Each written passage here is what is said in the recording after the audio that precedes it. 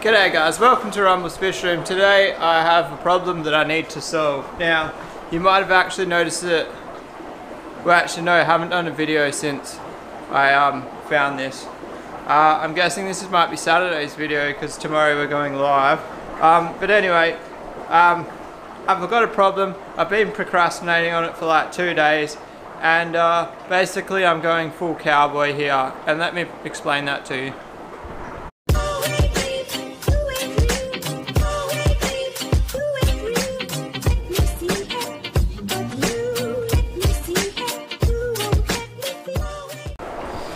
Alright guys, so in short, Franken tank doesn't fit. Basically, um, I measured the distance from there to there and if you remember we actually removed one side of this tank to gain 6 millimeters to make it fit. Now if you measure the tank and you measure the width between the racks, um, it's pretty much within 3 millimeters but one thing I didn't take into account um, this the floor is actually sloped due to drainage and basically I think this leg here this leg here is actually three pieces deep one two three. So that's actually like about 120 millimeters total. And I think that's that's slightly twisted in. And um, basically all of those things together means that it doesn't fit. It's so close. Like if you look there's like a six mil, five mil gap there. And if you look on this side, it's like five mil that it's not covered by. Now what I'm gonna do, this leg, because that is like 120 millimeters wide, um, there's three layers there. Um, I don't even remember why I ended up three layers. I think I just, I think it was the two and then I added the front one when I started adding so much weight over here. Um, Oh, and I think there, there's so much timber here, guys. This is over-engineered as hell. If you look up there, there's like three layers running across that way. This rack is serious, and it's not it's not over constructed. I actually was always planning on putting one extra leg on the front of that, but I never did it. But there's like there's probably like close to 2,000 litres up the top there, maybe more. Someone do the math in the comments. 4 by 2.5 by 1.5, 4 by 2 by 1.5, 7 by 2 by 1.5. Um, my, off the top of my head, without actually working it out, I would say 600 to 650, 400 to 450, 450 to 500 total guess there. But anyway, um, you'll see we have a planer in the vicinity. That means we're just going to plane the hell out of this leg. Um, I'm going to try and plane it a bit tapered so that way I'm taking as the least amount possible off. Luckily, this tank here is like 70 millimeters up off the ground so I don't have to plane to the bottom of the leg. I can't really plane the other side because this tank here goes all the way to the ground and I've got no method of planing to the very bottom because the planer will only plane to like within like 30 millimeters at the bottom. Also the other thing is the bottom of these legs are coated in fiberglass so I don't really want to plane the bottom because that's actually a watertight seal and um, that's what stops my legs from rotting. So anyway, you guys get to see the planer in action. Um, now, I don't know how I'm going to do this because I've got to get this tank out of the way. There's actually a fish tank in the way here. It's going to be a tight fit, guys.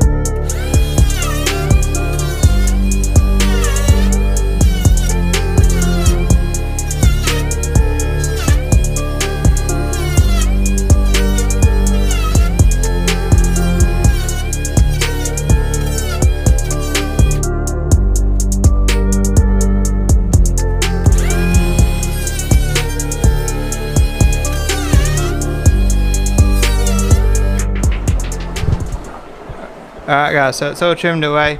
I test fit it and it fits. Um, I kind of didn't film it just because um, turns out the silicon, when I silicon the brackets on the bottom, the silicon didn't stick to the paint. So that bracket there fell off, which is alright. It just means it will sit under it loose. It won't be attached to it, but which doesn't matter. Um, but I don't know what. Oh, so there is a little bit of water in here, which does worry me a little bit. Um, I noticed like the back two pieces don't have the plastic under them, so I'm gonna have to address that. But that's a huge job to fix that because I've got to empty all the tanks above. So it's not much water in there. If this was really wet, it would um it would it would soak all through this so it's not doing too bad but I definitely keep my eyes open on that one and uh, give the leg an old tap with the hand every now and then to make sure that yeah look if I put the sawdust here that way the paint doesn't go on the concrete. Oh I said that and I just dripped it straight on the concrete.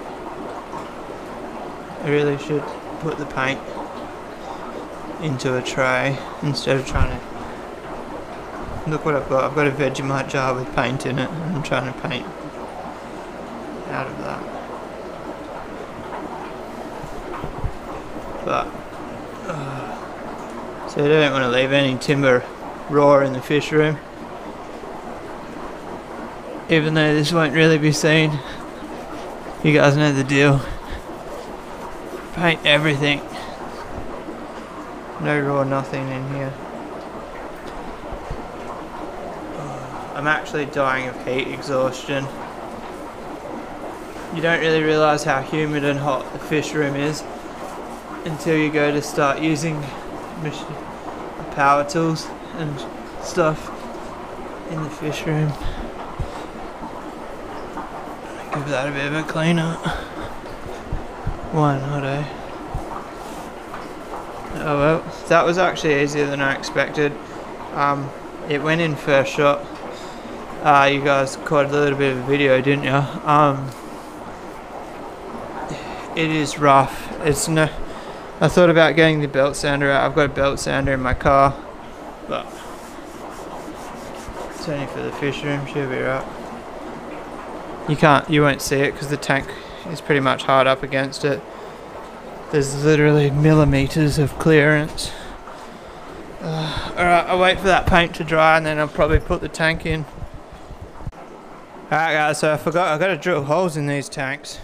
Um, I've got our handy dandy airline in the fish tank, dripping water down into this tank.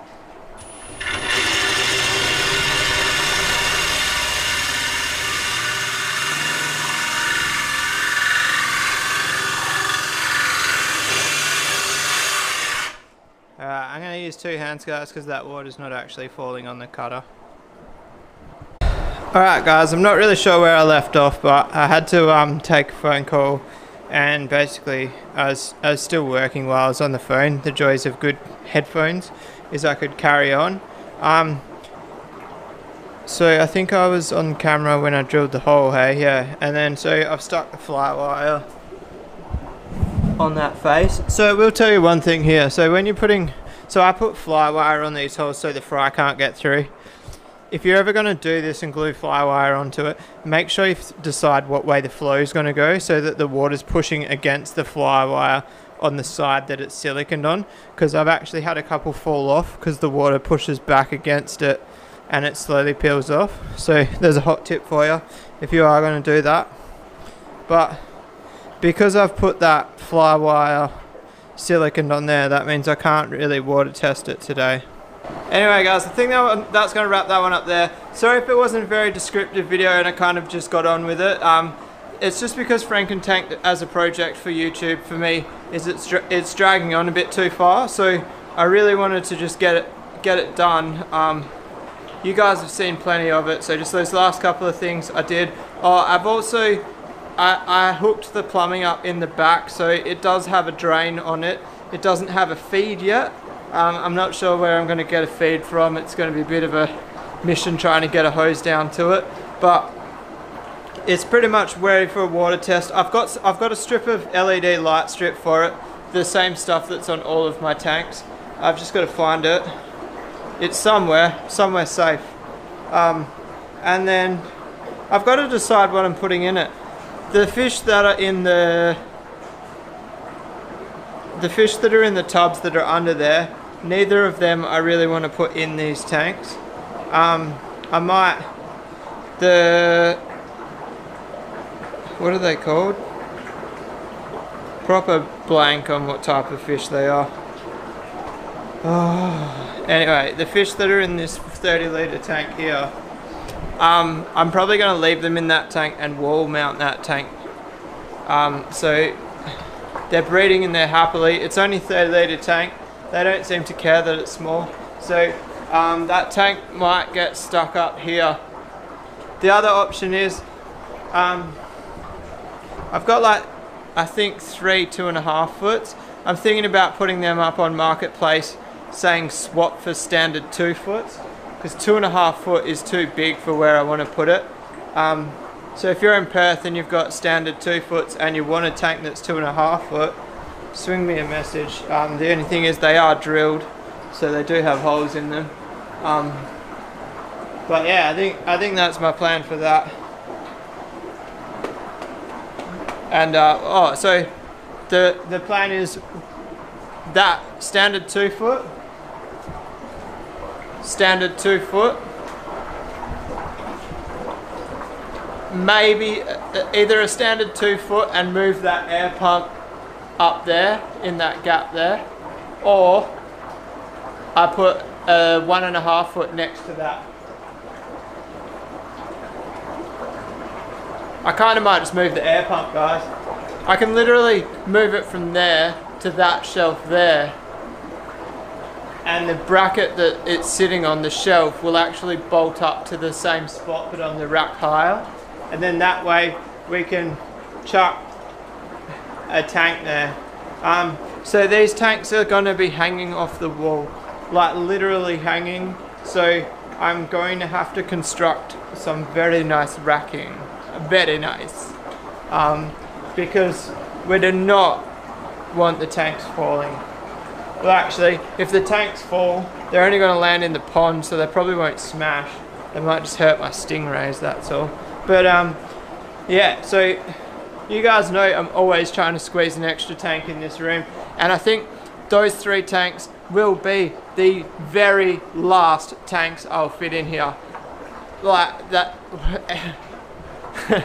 if I fit more than those three in here, um, come back to this video and send me the link if it's in the future. Because there is nowhere, nowhere to squeeze another tank. Um, so we're putting a two foot there. That's got the seven foot above it, so that can't, there's, there's no room there. If I put two foot there, we're not going to be, uh, we're not putting a tank that close to the aircon. The aircon needs to breathe. So that, that leaves here. We could squeeze another two foot up there if we move that pot, but that, nah, it's not an option guys. Get out of my head. Three more tanks, standard two foots, and then the room's finished. It has to be finished at that point. Like, like look at this. We're squeezing tanks in under here. Franken tank. Like I literally had to plane the leg of the rack to fit it in. It doesn't get any tighter than that squeezing tanks in, does it? Um, I really, once I get every tank in here, I want to do the math again and work out how many litres are in here. Uh, I believe it's somewhere around 15,000 litres. I can't remember if it's 15,000 litres including the 3,000 litres out there or whether it's 15,000 litres plus the 3,000. Either way, it's a lot of water.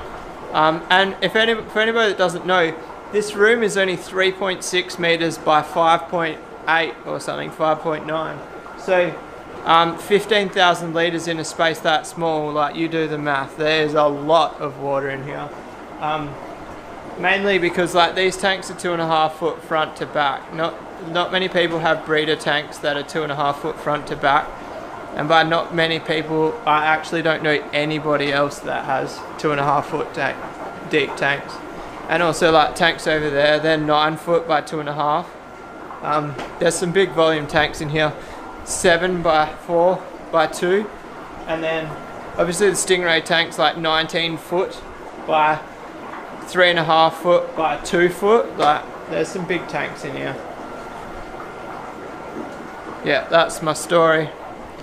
Got big fish tanks to compensate for other things. no, I'm just joking. It's, I got plenty down there.